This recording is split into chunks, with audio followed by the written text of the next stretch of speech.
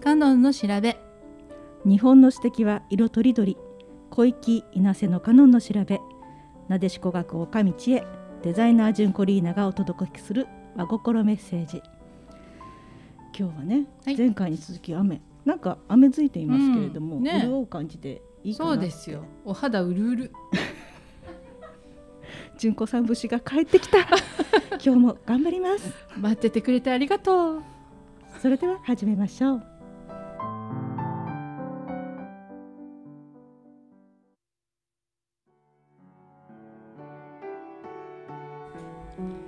季折々の家仕事。それは旬の食べ物から習慣生活の知恵に祭事。春夏秋冬を織りなすたしなみ帳はい。今日は夏のその2はい。ということですけれども、うん。前回お話しした時に夏のその1で夏自宅のお話ししたんですけれどもね、始められた方もいらっしゃるんじゃないかと思いますけれどもねちょうど雨ですからねぜひ夏自宅やっていただきたいと思うんですけども、うんそんな時にねもう一つちょっと気をつけていただくといいかなっていうことがありまして、はい。前回の続きですね今日も手仕事家仕事っていうところか、うん。生活の知恵ということで、うん。最近皆さん SDGs っていう言葉をすごく耳にするけれども、はい。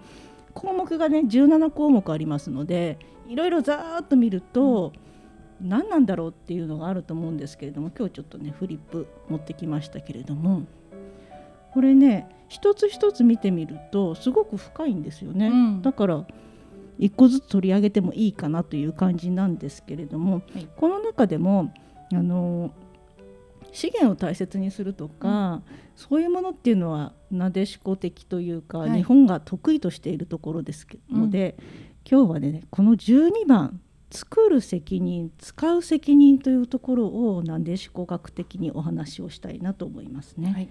まずね SDGs ってどういうものかっていうことをお話ししたいと思うんですけれども、うん。持続可能な もう一回言いますね。持続可能な開発目標。難しすぎてカミカミになりました、うん。ね。言えます？ね。サスティナブルってことですね。そうですね、はい。なんですけれども簡単に言うと全ての人が将来未来より良い風に暮らしていける未来を作っていこうっていう目標を項目としてまとめたものになります。はい。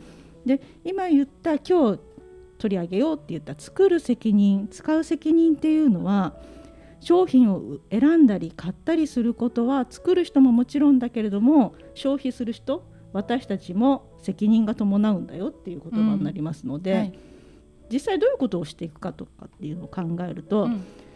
例えば今皆さんもされてると思うんですけれどもマイバッグを持つとか、はいはい。過剰な包装プレゼントじゃなければ今日は包装いりませんよっていうとか、あとシャンプーとかね、うん。洗剤とか買う時に詰め替えの容器を選んで買うとか、うんそういうちょっとしたちっちゃいことあとは食べ物食品ロスをなくすようにうん。工夫して献立作ってとかね、うんうんやりくりしてうんね、皆さんなんだかんだ言ってあのサスティナブルっていうことを意識しなくてもやられてるんじゃないかなと思うんですけれども、だんだん身についてきてますよねう。んで最近すごく目につくのはあとフリーマーケットとか、うそれこそアプリで売り買いできるものとかね。ね地元地元版みたいなやつとかね。そういうので再利用するとかっていうのも、その一つだと思うんですね。この再利用をリデュースリユースリサイクルってよく言われるんですけれども、物を無駄にしないで大切に使う心っていうのは、うん。やっぱりね昔から言われてる日本の得意なもったいないの精神。ね、うん。本当そうですよね。日本はずっとそれ続けてますよね。うん、っていうかなんか子供の時ってうん。お母さん見ててなんかもったいないってやってるけどかっこ悪いなってちょっと思ったりしませんでした？あ、かっこ悪いなとは思わないけど、やっぱりしょっちゅう言われましたよね。うんもったいないはいっぱい言われました。じゃあ純子さんまっすぐなんだ私なんか子供の時になんか、ね、使い古しの布とかを雑巾に使ってると、なんかもっともっとおしゃれなのを使えばいいのにとか思ってたんだけどなるほど。あ、それはありますよ。うんあるある。うんだけど今大人になって自分がさてやってみると、古いのを使ってたりするんですよ、なかなかタオルとか捨てられない。もうボロボロになっても何か使える、ね、そういう心が日本人にはあるんじゃないかと思うんですけれども、それね実はね多分染みついてるんです、うん。DNA に。うん。なんでかっていうと、ううんんクローゼットの中に、うん。純子さん今洋服どのぐらいあります？溢れてます。溢れてます。数えられないくらいです。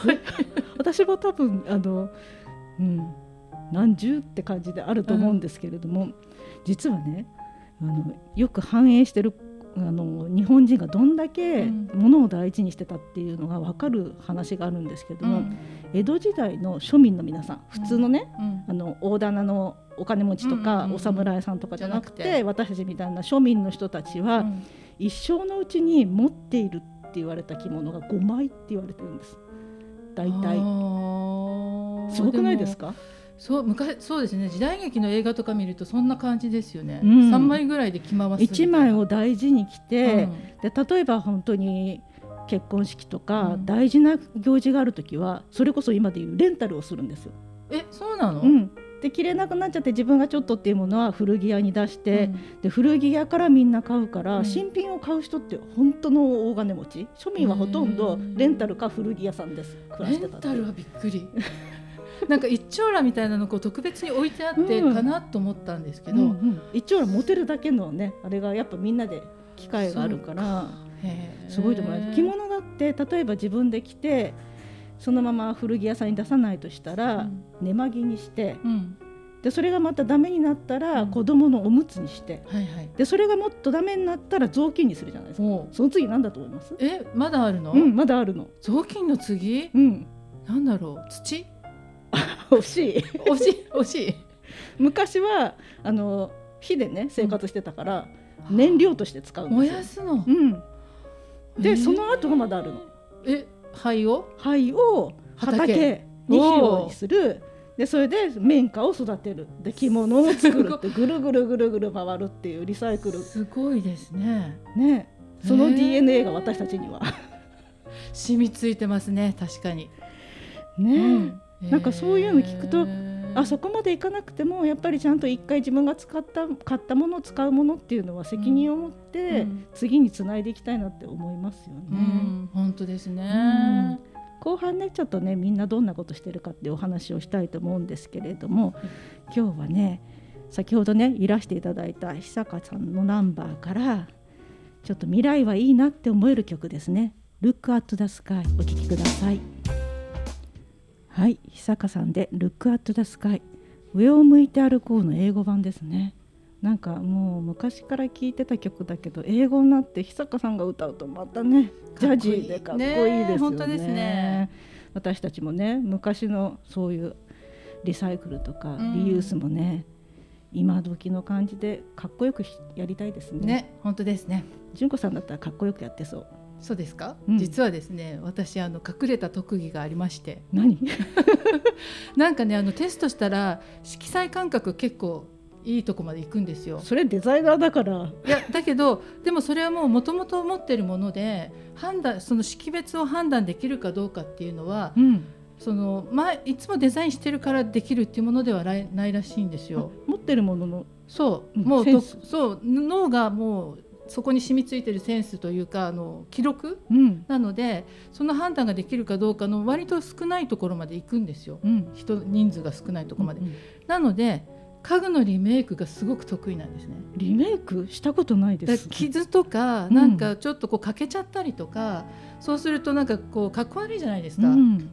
それ削って周りと全く同じに模様をかけるえ色を乗せ色を乗せて色を乗せて色を調合しながら乗せていって乾いたのを想像しながら、うんその色にのあの合わせていって最終的に出来上がると新品と同じぐらいできちゃう。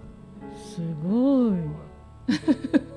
なかなか聞かない特技。確かに特技だ。特技でしょ？だからあのうちね隣にあの夫の実家があるんですけど、うんあの古いライティングデスクとか、うん。もう誰も使わないようなものをもらってきてう、ん。で全部リメイクしてきれいにこう傷を一個一個消していって、うんで子供に使わせたりとか。なんか古いものって、やっぱりその過ごしてきた年,、うん。年数の味があっていいけれども、うん。あんまり傷だらけだと、うん。それはそれでやっぱりねボロっていう感じがしちゃうと味ではないですよね。ね、あの大人がねそのアンティークとして味を楽しむのはいいんですけど、うんうんうん子供ってやっぱこんなボロ嫌だって言う じゃないですか。絶対 だからそれをね味を残しつつその傷とかを消してあげるとかっこいいって思ってくれるので、お母さんがそういうテクニックがあって、うん、古いものを大事に使ってるとやっぱりお子さんたちもちゃんと大切に使わなきゃっていう意識が生まれますよね、そうですよね。多分やってくれると思うんですよ。うんすごい、うん、褒められた 私はそんなおしゃれじゃないんですけどあの新聞とかあと学校から配ってきたプリントのいらくなったものを折り紙の箱にする、うん、折り紙の箱、うん、すぐ折れるけどね、はいはいはいはい、箱に折ってそれを開いたのを、生ゴミ捨てる時とか、うん、ゴミ箱代わりに使ってて、それをくるっとしちゃえば、すぐ捨てれるし新聞紙なんかよくね匂いがしないじゃないですか、生ゴミなんか。で今プラスチックのビニール袋とかもないから、うん、それをして捨てる感じにしてるんですけども。いいですね。私もね自分でやらないって、子供にこうやって折るんだよって教えて。全部あの作る職人がいますからうちは。ねでも好きですよね、うん、子供そういうのね、うん、楽しそういうところで子供も学んできるし、無駄にもならないし、新聞って意外と1か月取ってるとそのまま出すとすごい量の、はいたまりますね。ので、うんうん、そういうところでちょっとずつね生かしながら使っていると、うん、いろいろねいいことができると思います、ね、本当ですね。うん。ね、皆さんもいろいろ工夫なさってると思いますので、うん、ぜひねそういう情報あったらね私たちもキャッチしたいので、はい、なでしこ学のホームページでもいいですし、はい、えっと LINE 公式の方のメッセージでもいいですので、うん、ぜひ送ってください、ね、教えてください。皆さんのお声を楽しみにしております